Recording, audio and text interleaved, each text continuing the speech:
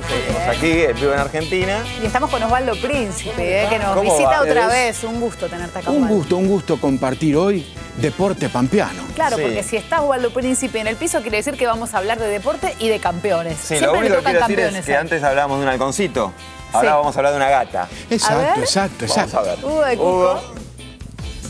Bueno, acá está, tenemos a mi lado a la gata Costa que sonríe, también está Roberto Salietti, que tiene un lío con los nombres, el nombre, apellido, la mamá, la papá, Roberto Salietti simplemente. Los escuchan, Osvaldo, adelante, aquí está la gata.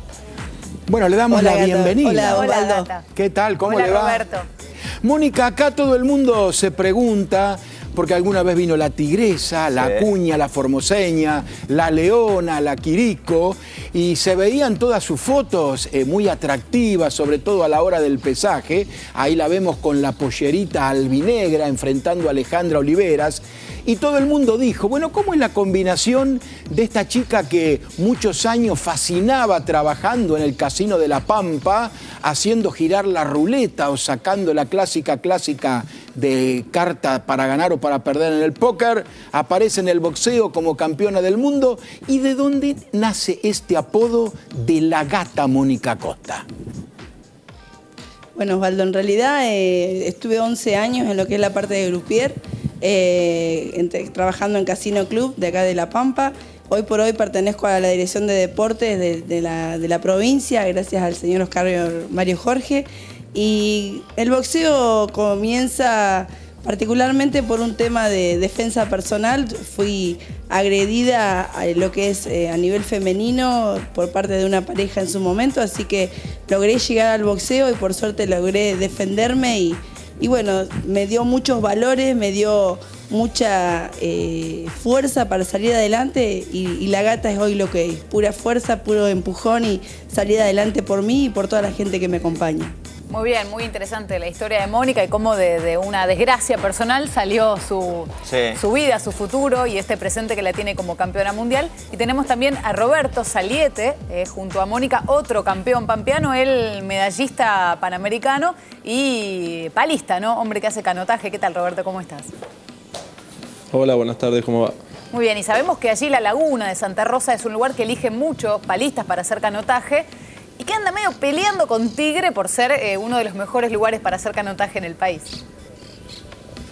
Sí, bueno, por suerte el fin de semana se pudo realizar el campeonato nacional acá en la laguna de Santa Rosa y nos ayudó el clima. El problema que tenemos acá es que por ahí el viento nos complica remar, pero si el clima nos favorece es un lugar espectacular para hacer el deporte. Bueno, me bien. imagino que han, bueno, que ha sido recibido muy bien allí en La Pampa y bueno, obviamente la gata también, que deben tener todo ese apoyo de, de la provincia. Sí, ahora yo al año pasado y este año recibí bastante apoyo de la provincia y bueno, con esto de los Juegos Panamericanos me recibieron todos con los brazos abiertos y, y nada, con buena onda todos, por suerte. Bueno, muchas bien. felicitaciones, les mandamos de acá un gran abrazo y me quedé con muchas preguntas para la gata Sí, que en otro momento. Para los dos, nos quedamos eh, con muchas hacer, preguntas, pero queríamos que estuviera presente el deporte pampeano en Símbolos, símbolos de un deporte con mucha historia, Sí.